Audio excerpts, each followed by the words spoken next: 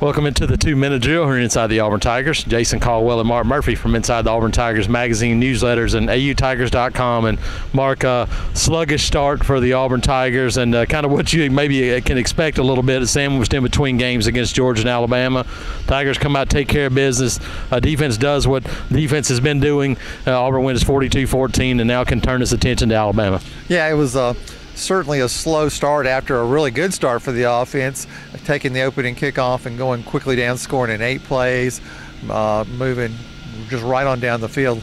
Looked like it was going to be an easy day. Louisiana Monroe had other ideas. They had an extra week of preparation time. They looked pretty fresh out there and eager to play. You know, Auburn got that touchdown right before halftime, moving 95 yards, which was a big momentum swinger. And then Auburn came out in the third quarter and put it away. Yeah, I think looking, uh, you know, Jarrett Stidham, very efficient day once again. Had one throw he probably wishes he could have had back across his body over the middle. But other than that, made some really big plays. And Markarion Johnson, solid day. But Kam Martin was really the energy spark for the Tigers today. Some good runs and then the long touchdown catch. Kam Martin really uh, brought a, a, a, breath of fresh air for that offense in the second half. You know, he looked really quick out there today, Jason. That's about as quick as I've seen Kam Martin look. And, you know, I think they're going to try to get a have a role for him next week in the Alabama game because uh, he certainly looks like he stepped up as a player. Defensively, I thought Deshaun Davis had a really good game. Uh, he's a junior now. He's played a lot of football for Auburn, and he's the type of guy that needs to step up and play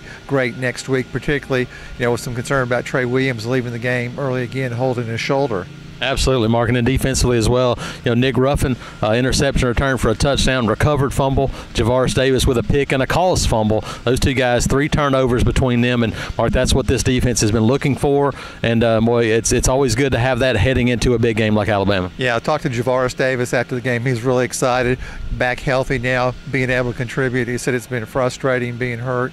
Uh, he's certainly one of the most talented guys on defense. I'm going to shout out for Dontavius Russell too. Well, that guy's a force inside at tackle. Now, he's the one who was responsible for the interception for Nick Ruffin because he hit the quarterback as he threw the ball. Yeah, absolutely. So uh, it, it's now done the, the the full bit of the regular season except for one game, and now everybody can turn their focus, and this team can turn its focus to Alabama. Mark, uh, hard to find a much bigger atmosphere and uh, and lead to than than this this Iron Bowl is coming up next Saturday. Yeah, what a great opportunity. You know, a lot of teams don't ever get a chance to play the number one team in the country, much less on their home field. Auburn's going to get a chance to do it twice in three weeks. Absolutely. Uh, looking forward to it. We'll have a lot of coverage all week. AUTigers.com. Jason Caldwell and Mark Murphy inside the Auburn Tigers.